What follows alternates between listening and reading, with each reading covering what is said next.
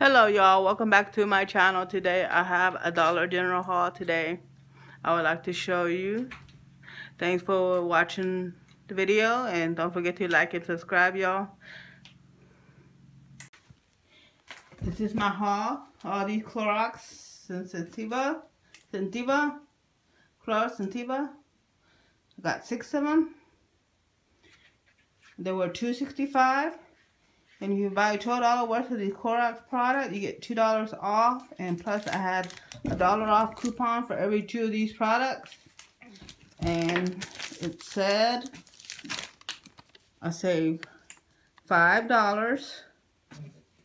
And the total sale was $11.80. I saved $5. So I hope you like this haul. And thanks for watching. Don't forget to like and subscribe. And have a good day, y'all. Bye-bye.